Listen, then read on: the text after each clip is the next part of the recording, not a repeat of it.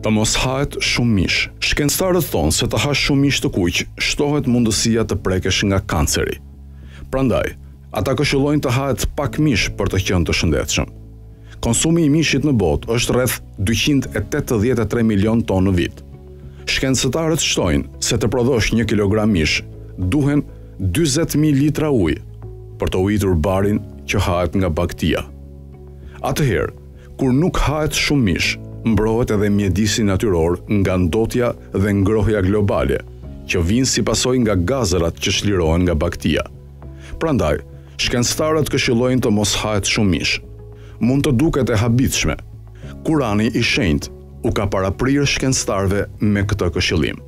Allahu, i Lartësuari, thotë në Kuranin e Shenjtë, O bij të Ademit, vishuni bukur për çdo namaz, hani dhe pini, e mos e teproni, sepse Allahu nuk i do ata që e teprojnë.